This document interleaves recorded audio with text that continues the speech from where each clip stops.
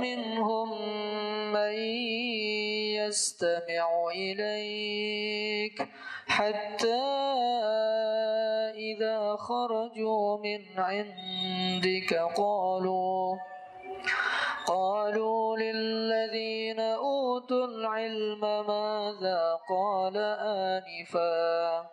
أولئك الذين طبع الله على قلوبهم واتبعوا أهواءهم. بسم الله الرحمن الرحيم. السلام عليكم ورحمة الله وبركاته. الحمد لله حمدا كثيرا طيبا مباركا فيه. كما يحب ربنا ويرضى أشهد أن لا إله إلا الله وحده لا شريك له. وأشهد أن محمدا عبده ورسوله صلى الله عليه وآله وسلم. قال الله تعالى في كتابه الكريم يا أيها الناس اتقوا ربكم الذي خلقكم من نفس واحدة وخلق منها زوجها وبس منهما رجالا كثيرا ونساء واتقوا الله الذي تسالون به والأرحم إن الله كان عليكم رقيبا. فإن أصدق الحديث كتاب الله وخير الهدي هدي محمد صلى الله عليه وآله وسلم.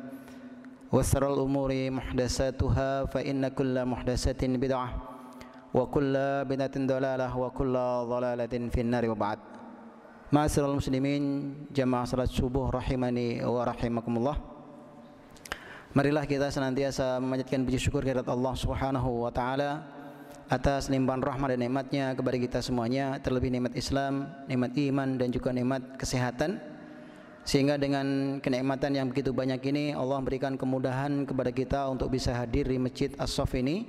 Dalam rangka untuk mengikuti salat subuh berjamaah dilanjutkan dengan duduk sejenak mendengarkan kajian keislaman.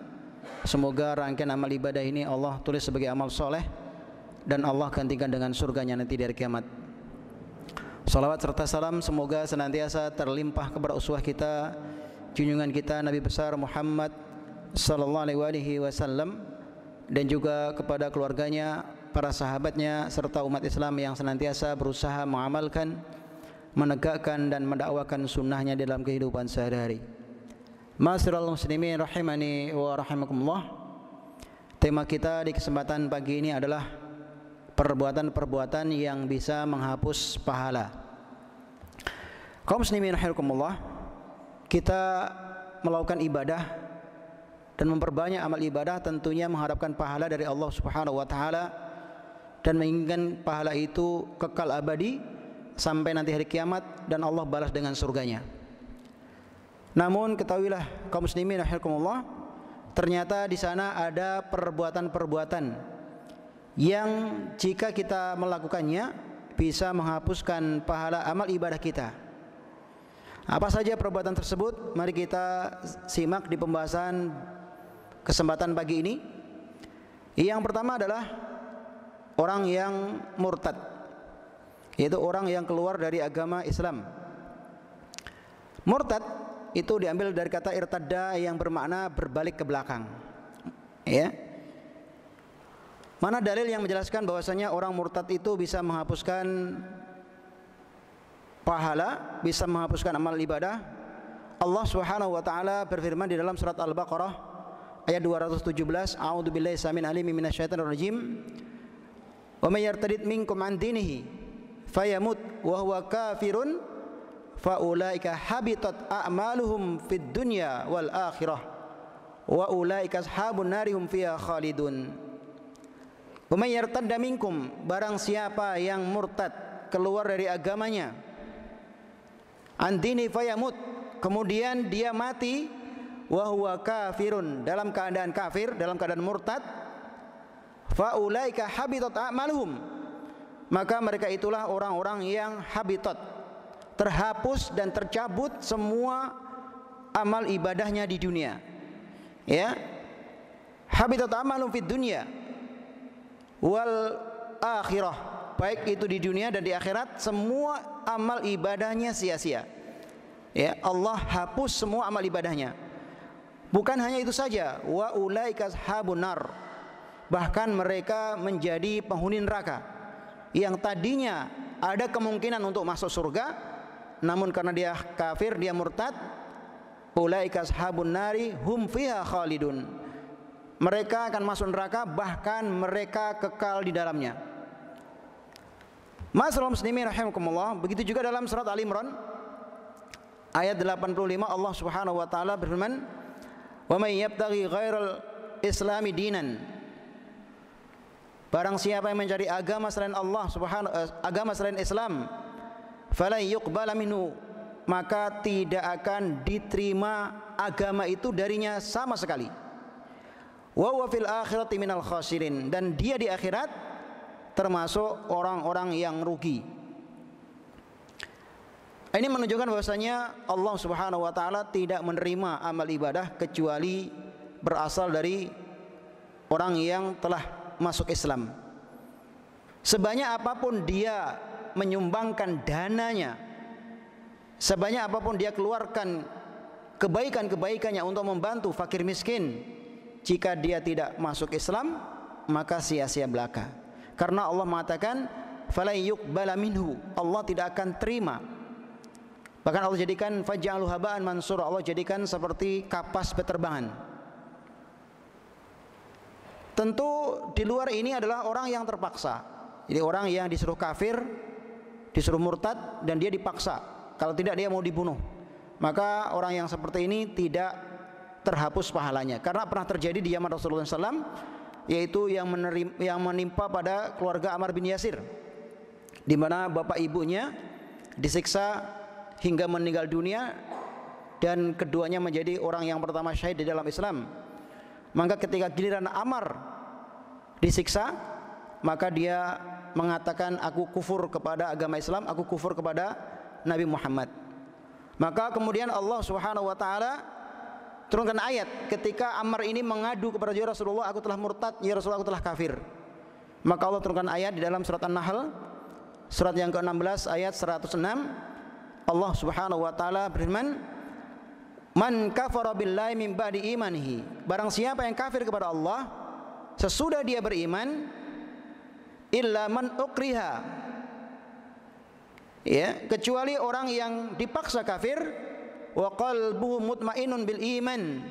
Sedangkan hati mereka tetap tenang dalam keimanan maka dia tidak berdosa walakin man saraha bil kufri sadran fa alaihim ghadabun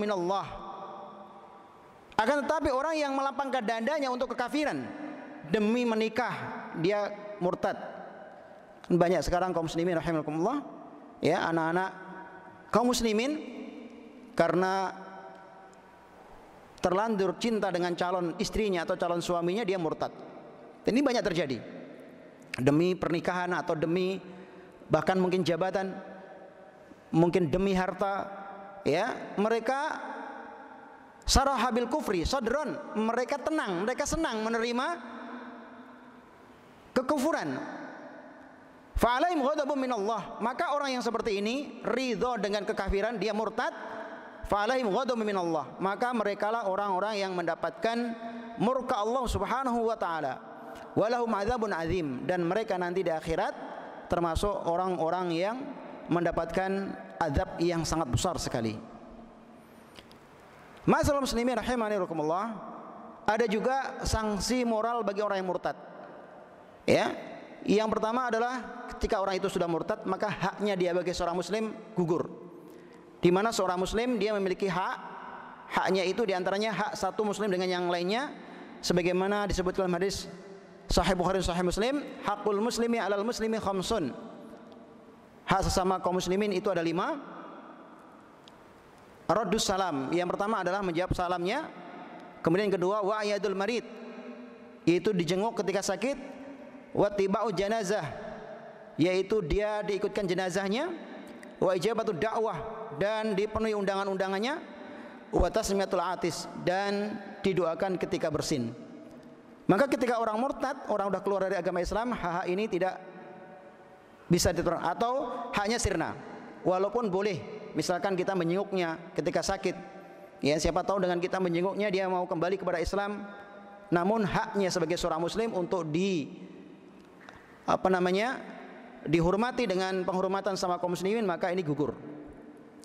Kemudian yang kedua adalah dia haram menikahi seorang muslimah. Apabila telah menikah, seorang laki-laki ketika murtad sudah menikah maka otomatis pernikahannya batal di dalam Islam. Sebagaimana Allah Subhanahu wa taala berfirman dalam surat Al-Mumtahanah surat yang ke-60 ayat ke-10 Fa in alimtumuhunna mu'minatin fala tarji'una ilal kufar. Maka jika kalian telah mengetahui bahwasanya mereka yaitu para wanita-wanita mukminat tadi beriman fala tarji'uhunna ilal kufar jangan kalian kembalikan mereka kepada suami-suami mereka yang telah kafir. La hunna lahum wa lahum yahilluna lahun. Mereka tidak halal bagi orang-orang kafir itu dan orang-orang kafir itu tidak halal bagi kaum mukminat. Maka ini menunjukkan jika seorang laki-laki telah kufur otomatis pernikahannya batal. Jika dia tetap salam satu keluarga maka jatuh perbuatan zina kemudian yang ketiga tidak mewarisi dan tidak diwarisi hartanya. Sebagaimana Rasulullah SAW bersabda dalam Sahih Bukhari dan Sahih Muslim la yarisul muslimul kafira walal kafirul muslima. Seorang yang muslim tidak boleh mewarisi harta dari orang kafir. Walal kafirul muslima. Dan begitu juga sebaliknya orang kafir tidak mewarisi harta dari seorang muslim. Kemudian yang keempat, jika meninggal dunia maka tidak disolatkan, tidak dikafankan dan tidak boleh didoakan. Sebagaimana terjadi ketika pamannya Nabi Muhammad SAW Abu Talib meninggal dunia dalam keadaan kufur Rasulullah SAW mendoakan pamannya namun Allah Subhanahu wa taala melarangnya Allah Subhanahu wa taala berfirman dalam surat At-Taubah surat yang ke-9 ayat 85 Wala tusalli ala ahadin minhum mata abadan. Janganlah kamu sekali-kali mendoakan dan menyolatkan jenazah orang yang mati di antara mereka. Wala takum ala qabrihi. Dan janganlah kamu berdiri mendoakan di atas kuburannya.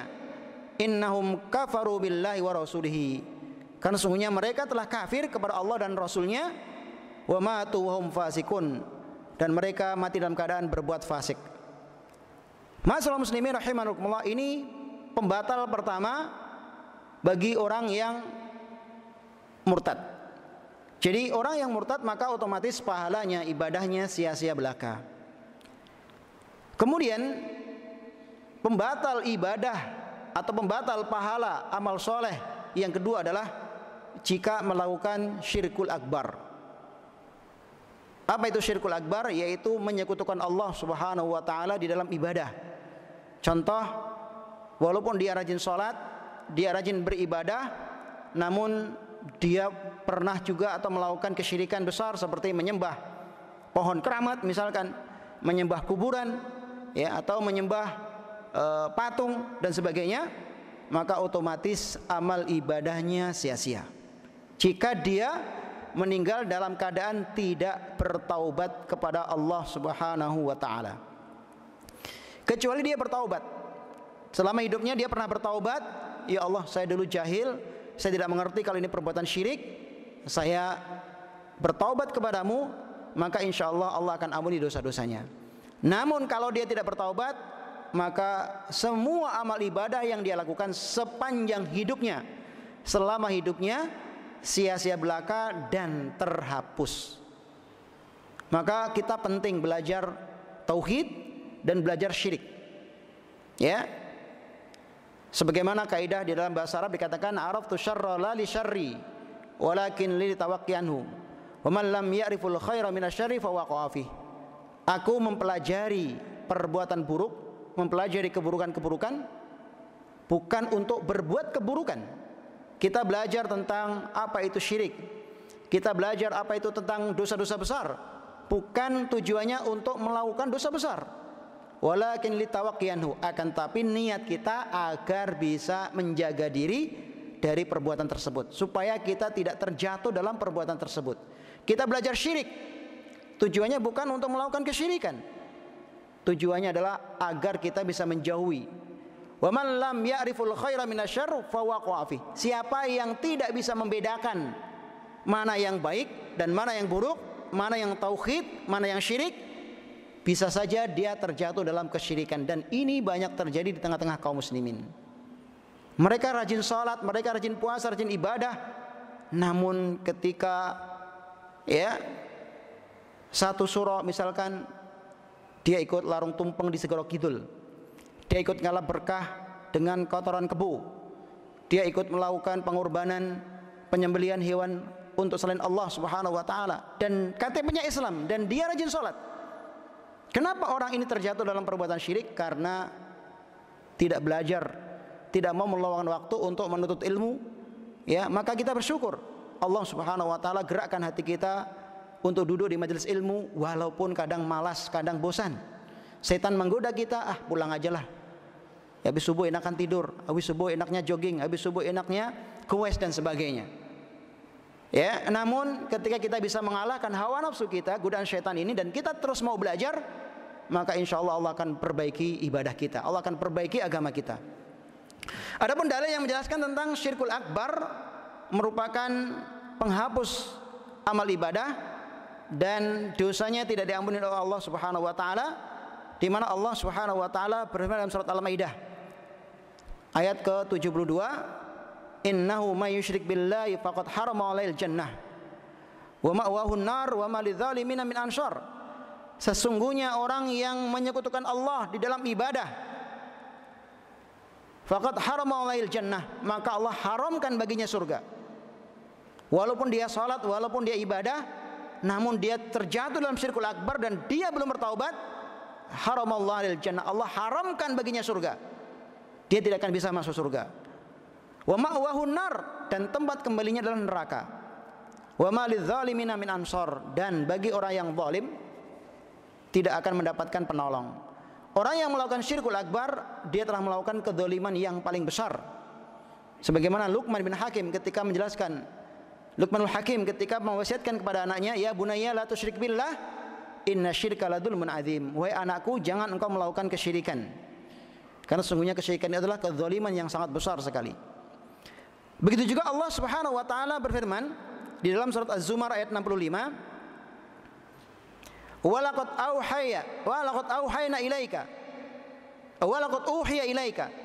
Dan sungguh telah kami wahyukan kepadamu wahai Muhammad wa ilal ladzina min qablika dan juga kepada nabi-nabi sebelum kamu lain asraqta la yahbatanna amaluka. Seandainya Muhammad kamu melakukan kesyirikan, perbuatan syirik, layah baton amaluka akan terhapus, akan hilang, akan sirna amaluka, semua amal ibadahmu. Di sini Allah Subhanahu wa taala menggunakan lam taukid. Artinya pasti. Ya. Layah batonna. Ya, lam tauhid dan non tauhid. Ini menunjukkan kepastian yang pasti terjadi.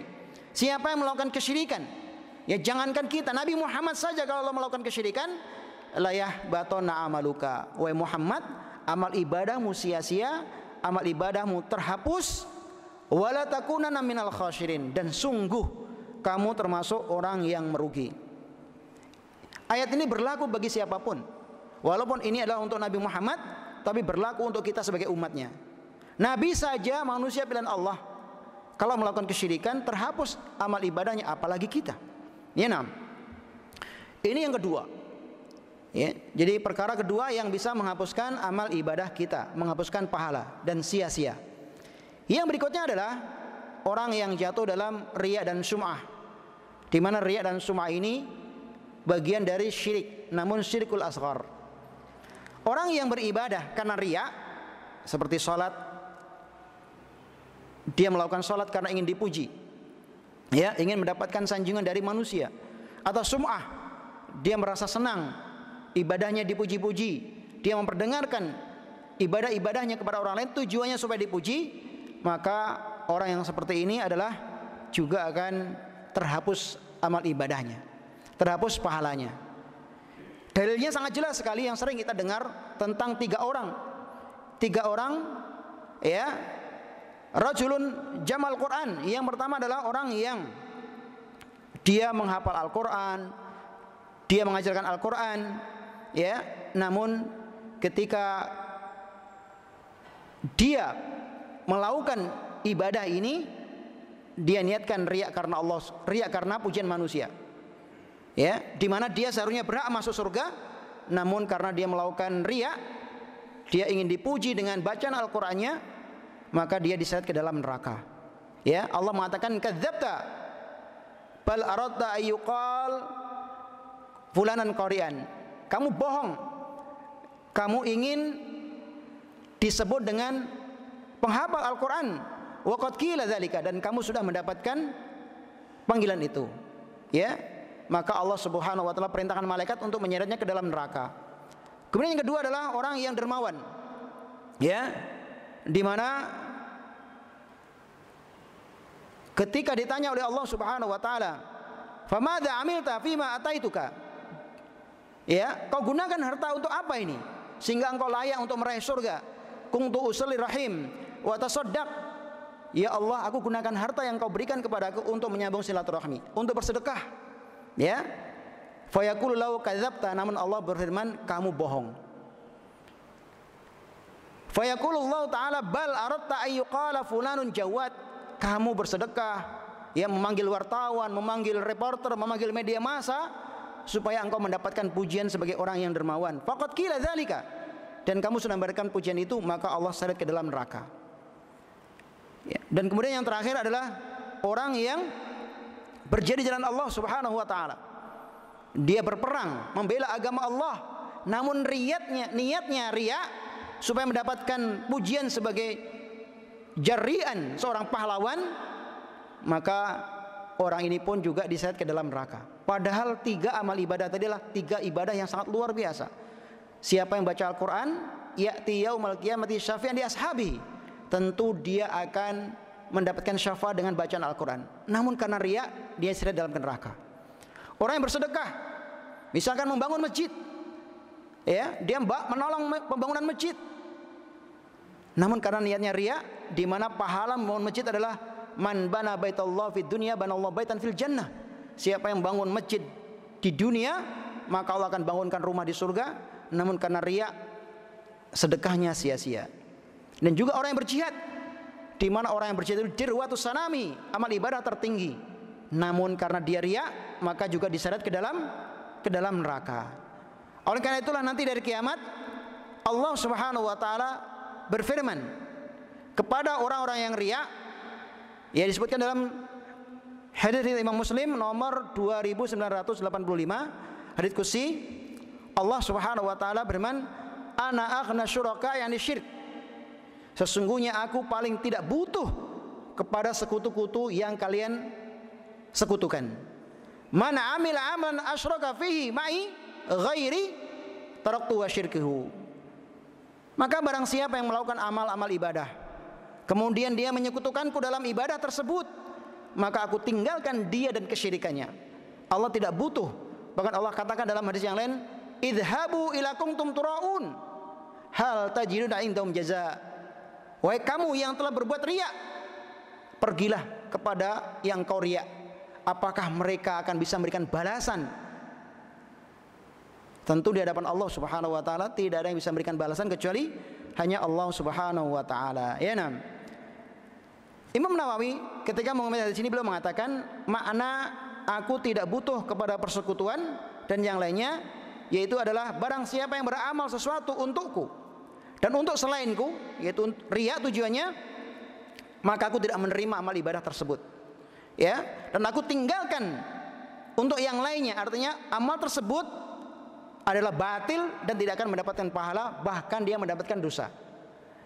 Jadi e, kalau syirkul akbar itu menghapuskan semua pahala, yes, dari kita kecil sampai kita meninggal dunia kita jatuh dalam syirkul akbar, otomatis pahala kita hapus. Adapun syirkul asghar atau ria ini menghapus pahala ibadah yang kita lakukan. Contoh begini. Tadi malam Isya kita sholatnya khusyuk tumaninah niatnya ikhlas karena Allah. Maka insya Allah isanya diterima Allah Subhanahu wa taala. Subuh ini niat kita ria supaya dipuji orang, supaya disanjung orang, otomatis sholat subuh kita sia-sia. Ya, tidak mendapatkan paha, pahala. Adapun isya'nya dapat pahala, subuhnya tidak karena kita ri, ria. Makanya kaum muslimin rahimakumullah, kenapa kita disuruh beristighfar selesai sholat? Ya, yang pertama tentu agar Allah mengampuni dosa-dosa kita. Bagi yang ria mungkin yang sum'ah, maka istighfar kepada Allah Subhanahu wa taala.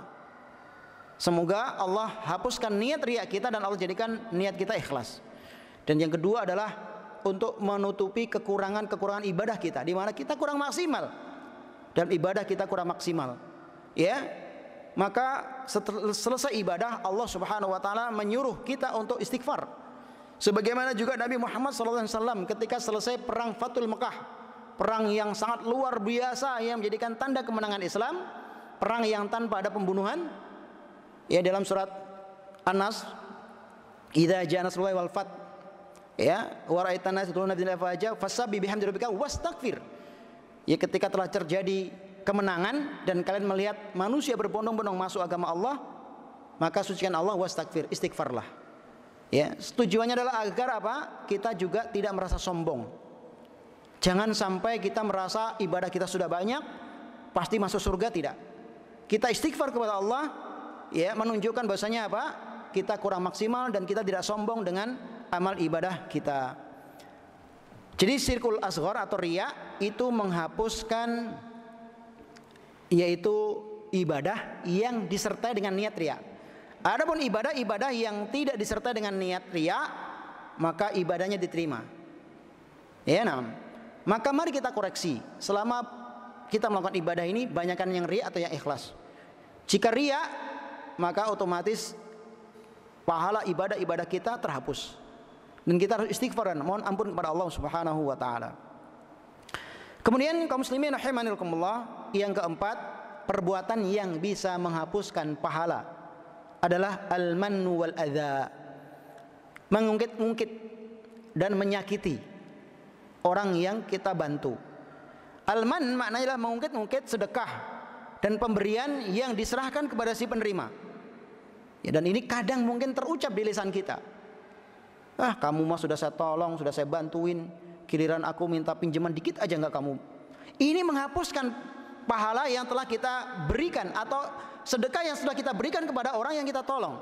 Ya, ini bisa menghapus dosa, eh, mohon maaf, ini bisa menghapus pahala amal sedekah kita.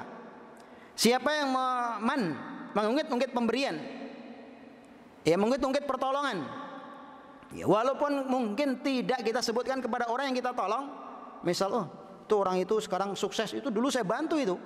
Ya orang itu dulu masya Allah dia miskin saya kasih makan tiap hari saya kasih ya bantuan bahkan pekerjaan itu dari saya ya kasih saya kasih pekerjaan sekarang sukses dia. Ini bisa menghapus pahala kita. Hati-hati. Ya kadang kita ingin merasa berjasa. Oh ini masjid Asaf ini saya yang paling banyak sedekahnya ini. Saya yang paling besar jasanya. Hati-hati. Ya bisa menghapuskan pahala infak kita pahala sedekah kita. Ya, maka jangan sampai ini terucap.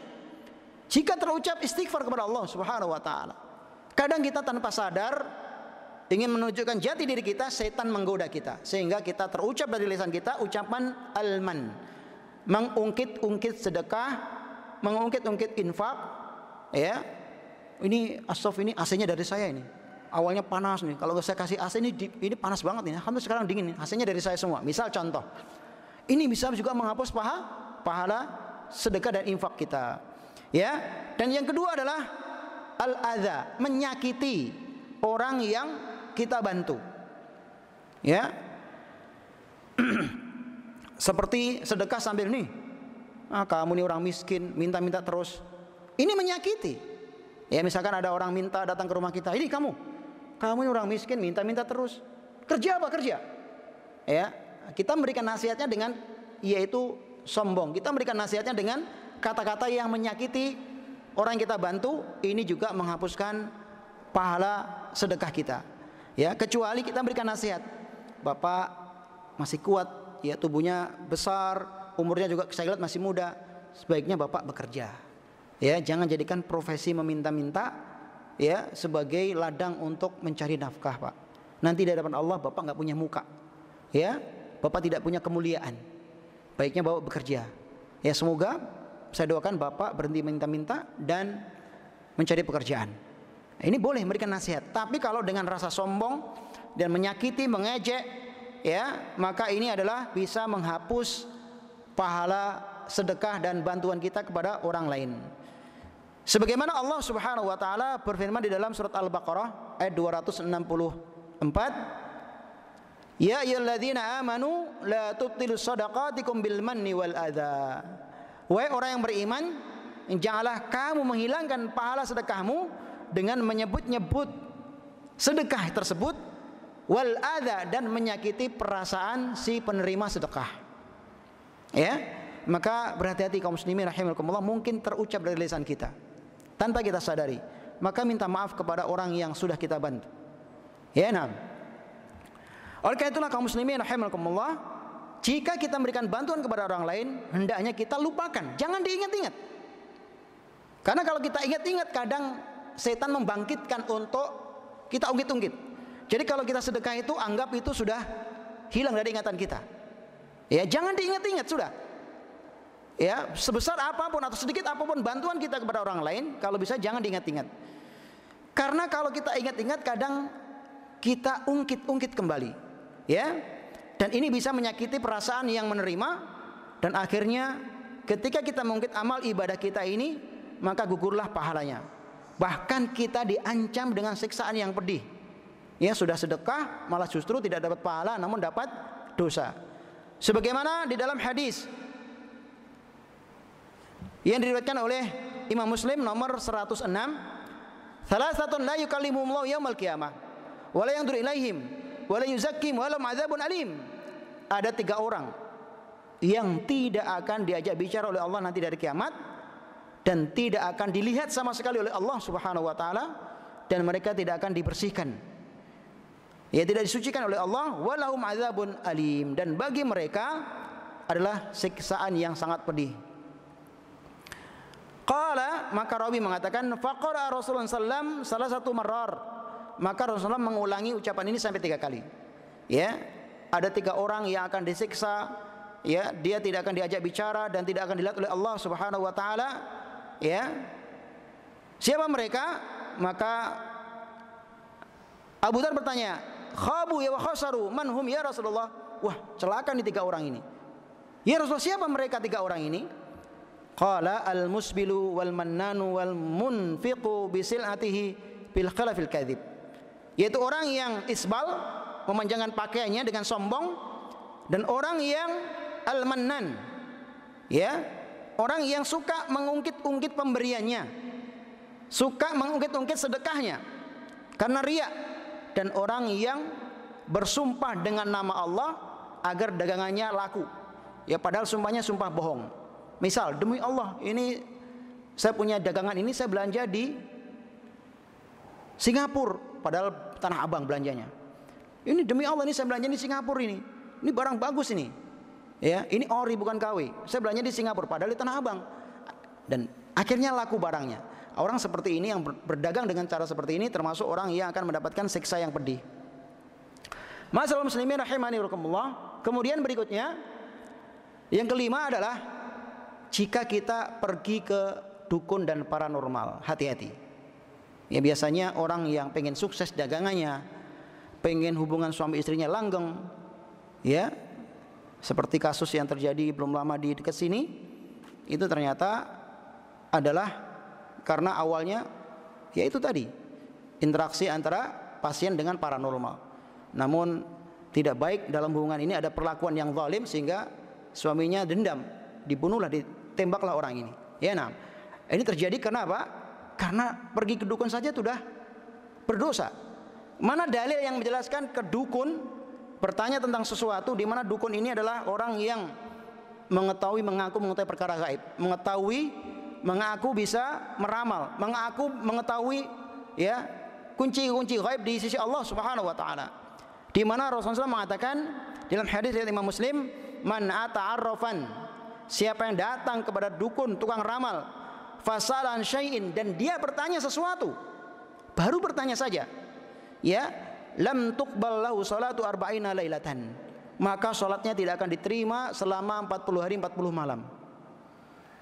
Bayangkan kita hanya datang ke dukun bertanya Pak coba ramal nasib saya. Saya ini nanti ke depannya orang sukses atau orang uh, rugi? Orang celaka atau seperti bagaimana? Ya kemudian dukunnya meramalnya. Hal seperti ini akan menjadikan penghapus pahala kita. Salat kita selama 40 hari 40 malam tidak akan diterima oleh Allah Subhanahu wa taala. Wah Ustaz kalau gitu saya nggak sholat dong. Udah saya nggak perlu sholat dong 40 hari. Justru kalau kita nggak sholat, sudah kita dosa datang ke dukun, kita meninggalkan sholat, dosanya berlipat-lipat.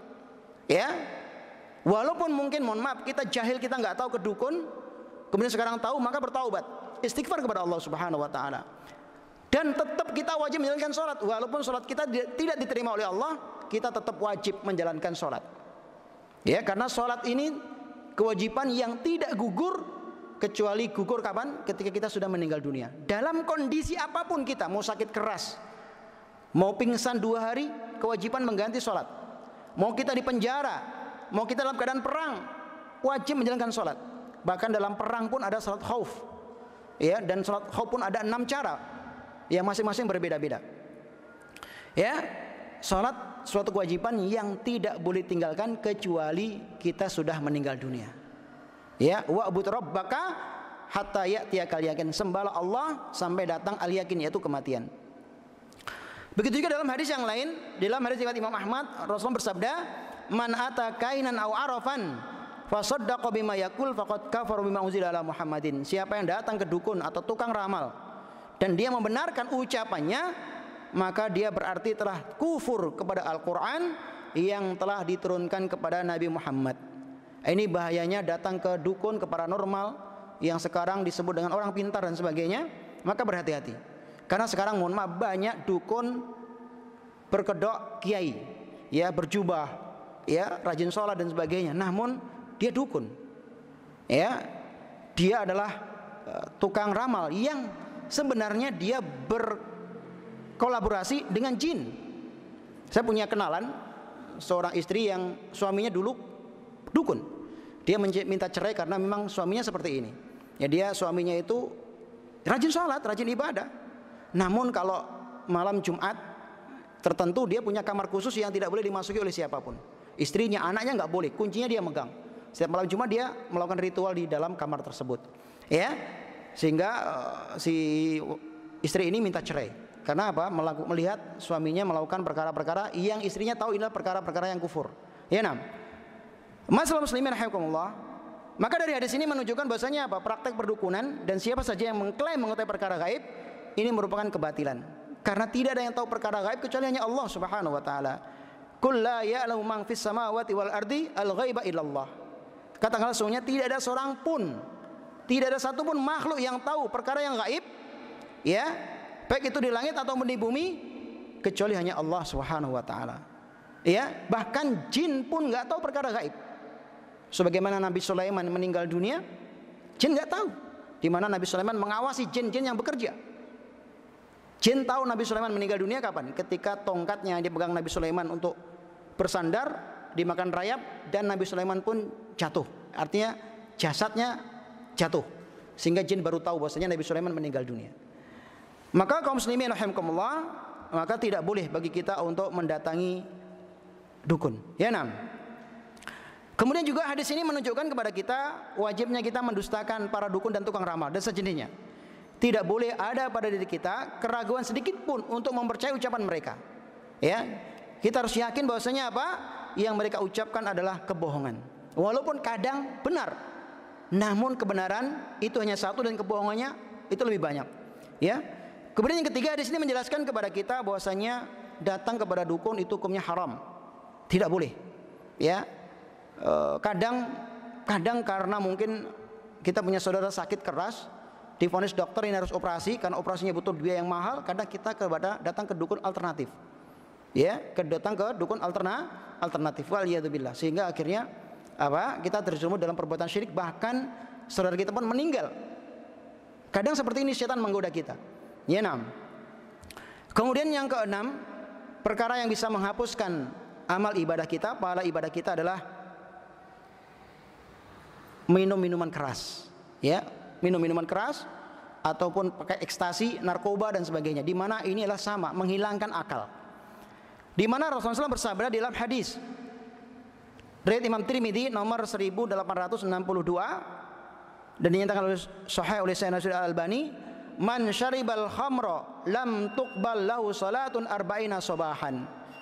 Siapa yang minum minuman keras maka tidak akan diterima salatnya selama 40 hari.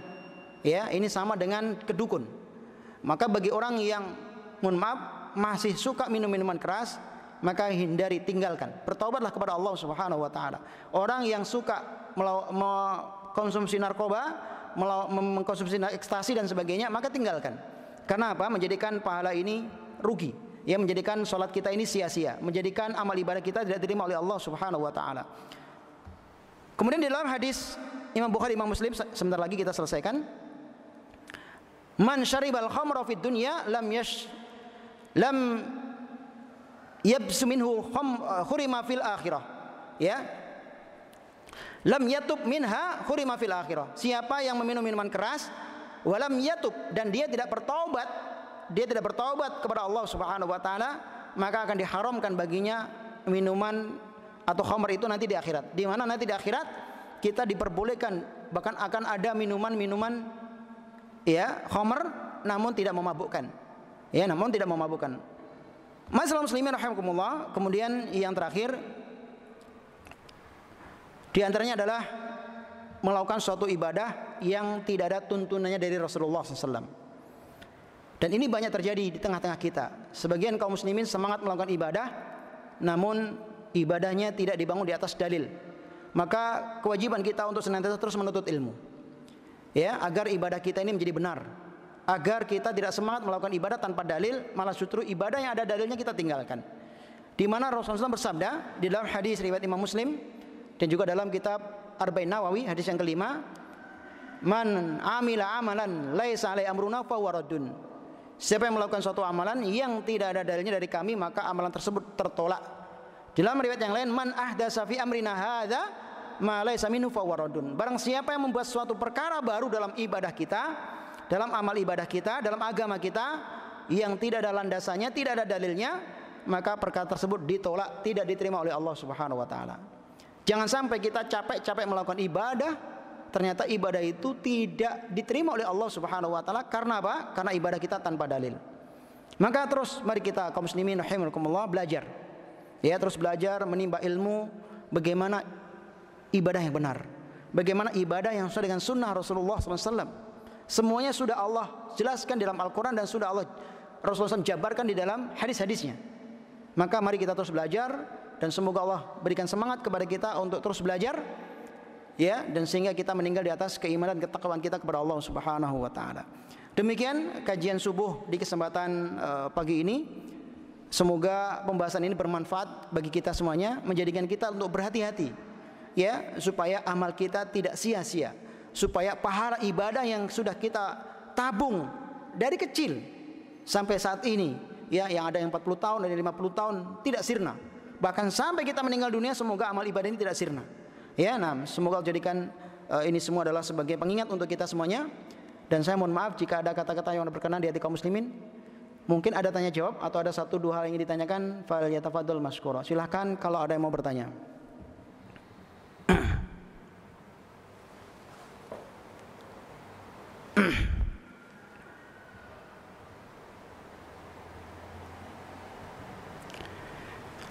Alhamdulillah tidak ada yang bertanya. Berarti uh, cukupkan kita cukupkan sampai di sini. Uh, jika ada yang benar itu datangnya dari Allah Subhanahu wa taala. Al haqqu min rabbika fala takunanna minal mumtarin. Sesungguhnya kebenaran itu dari Allah Subhanahu wa taala. Jangan pernah ragu untuk melakukan dan mengamalkannya. Dan jika ada salahnya itu dari saya pribadi, saya mohon maaf atas kekurangan dan sikap ucapan yang tidak berkenan di hati kaum muslimin. Semoga Allah memaafkan dosa-dosa saya. Kita akhiri majelis ini dengan doa kafaratul majlis. Subhanakallahumma wa bihamdika asyhadu an la ilaha illa anta astaghfiruka wa atubu ilaik. Wassalamualaikum warahmatullahi wabarakatuh. والذين اهتدوا زادهم هدى وآتاهم تقواهم